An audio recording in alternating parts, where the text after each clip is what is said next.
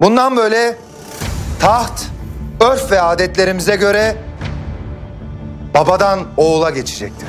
Bu fermanla kardeş katlinin yolu yeniden açıldı. Bu ferman İbrahim'le benim ölüm fermanımız. Validem neyi bekliyorsunuz? Ölmemizi mi? Canımı siper edeceğim. Yine de seni cellatlara vermeyeceğim. Meydan okumaksa niyet. Ben buradayım. Yetiyorsa gücün, kudretin indir beni. Hanedan sizden devam etmeyecek. Kardeşleriniz onlardan biri çıkacak tahta. Şüphenizden kurtulmanın bir yolu var. Nedir o? Bizi öldürecekler kalsın validem! Validem! Validem! Validem! Artık hiç kimse beni kardeşlerimle tehdit edemeyecek.